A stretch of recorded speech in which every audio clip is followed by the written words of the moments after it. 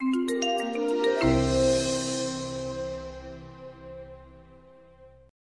student meteorologist Gerald Mengel with an update on Tropical Storm Ian, soon to be Hurricane Ian again. Ian made landfall yesterday in southwest Florida as a Category 4 storm and overnight crossed the Florida Peninsula and is now making its way back into the Atlantic, which spells trouble for us here in the Carolinas. So as you can see on satellite right now, this is Ian kind of over the Cape Canaveral region of Florida, making its way back into the Atlantic. Overall, pretty disorganized right now, but we expect uh, it to get more organized over the next 24 hours before likely making landfall in South Carolina, somewhere around the Charleston region, uh, likely anywhere from Charleston to the Myrtle Beach area and the Grand Strand.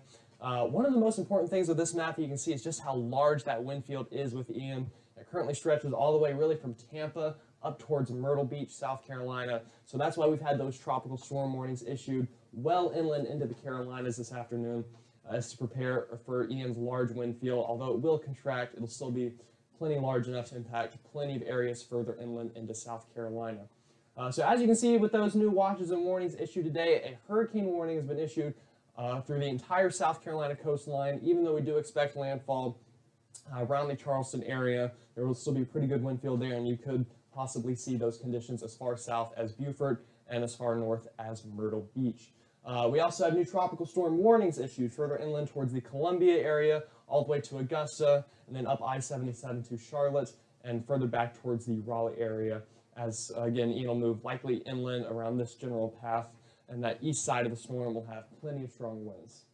Uh, so these are our kind of plots of the models thing that Ian will take.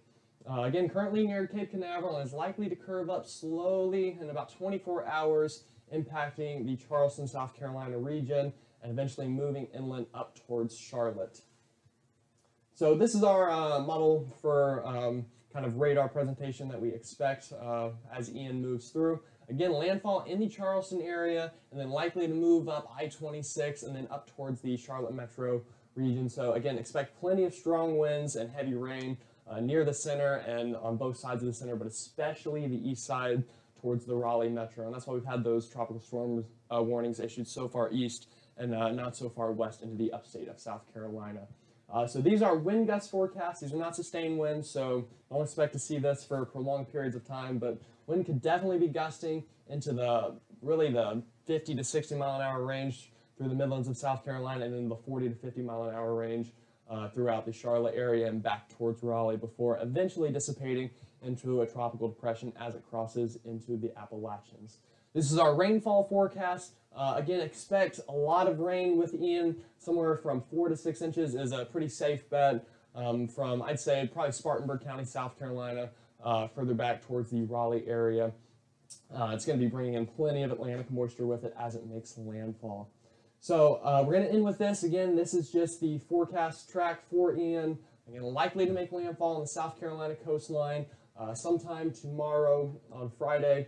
Uh, and then that will eventually continue up further into the Carolinas, bringing heavy rain, heavy wind, and isolated tornado potential, especially back east towards the Outer Banks. I'm student meteorologist Gerald Mengel, and this was the forecast update for Tropical Storm Ian.